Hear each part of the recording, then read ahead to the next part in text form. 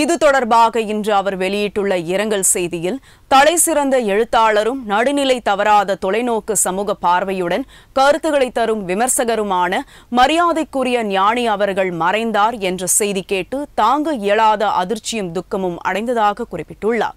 தீன் தரிகிட இதழின் ஆசிரியராக இருந்து அரிய கட்டுரைகளை வழங்கிய ஞானி இன்றைய கணினி யுகத்தில் நடுநிலை தவறாது தன்னுடைய எண்ணங்களை ஊடகங்களிலும் தமிழ்நாட்டின் முக்கிய ஏடுகளான கல்கி ஆனந்த விகடன் குமுதம் இதழ்களிலும் படைப்புகளாக தந்தார் என வைகோ சுட்டிக்காட்டியுள்ளார். பலூன் உள்ளிட்ட நாடகங்களை ஞானி எழுதினார் என்றும் பழைய பேப்பர் மறுபடியும் ஆகிய தலைப்புகளில் கட்டுரைகளை தீட்டினார் என்றும் மதிமுக பொதுச் செயலாளர் வைகோ கூறியுள்ளார்.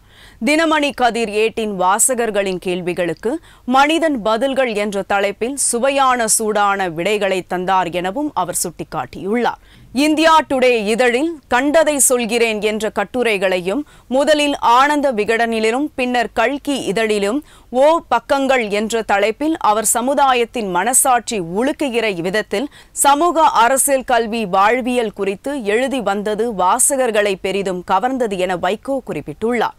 எதற்கும் அஞ்சாமல் மனதில் பட்டதை ஏடுகளில் எழுதவும் தொலைக்காட்சி ஊடக விவாதங்களில் கேள்வியும் பதிலுமாக தருவதும் ஞானி அவர்களின் இயல்பான ஆற்றல் என வைகோ தெரிவித்துள்ளார். கடந்த சில ஆண்டுகளாக அவருடன் நெருங்கி பழகுகின்ற வாய்ப்பை பெற்றதாக கூறியுள்ள மதிமுக பொதுச்செயலாளர் வைகோ பல நேரங்களில் மணிக்கணக்கில் உரையாடி இருக்கிறேன் என தெரிவித்துள்ளார். தன் மீது மிகுந்த அன்பு கொண்டவர் என்று குறிப்பிட்டுள்ள வைகோ இன்னும் பல்லாண்டுகள் வாழ்ந்து இதழியலுக்கும் தொலைக்காட்சி ஊடகத்துறைக்கும் அரிய சேவை ஆற்ற வேண்டிய அன்பு சகோதரர் ஞானி சங்கரன் அவர்களின் மறைவு பத்திரிகை துறைக்கும் தமிழ் சமுதாயத்திற்கும் மிகப்பெரிய இழப்பாகவே எண்ணி வருகிறேன் என தெரிவித்துள்ளார். கேணி இலக்கிய சந்திப்பு என்ற பெயரில் இலக்கிய நண்பர்களை தமது இல்லத்திற்கு வரவழைத்து கருத்து பரிமாற்றங்களை ஞானி நிகழ்த்தி வந்தார் எனவும் அவர் கூறியுள்ளார்.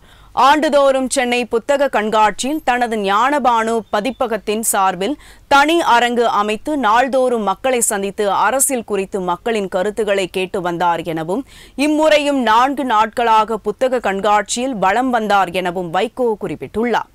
நான்கு ஆண்டுகளாகவே உடல்நலக்குறைவுக்கு சிகிச்சை பெற்று வந்தாலும் நேற்று வரையிலும் தமக்கு பிடித்தமான புத்தகங்களுடன் சென்னை புத்தக கண்காட்சியில் தனது நண்பர்கள் பலரை சந்தித்து மகிழ்ந்திருக்கிறார் என அவர் தெரிவித்துள்ளார்.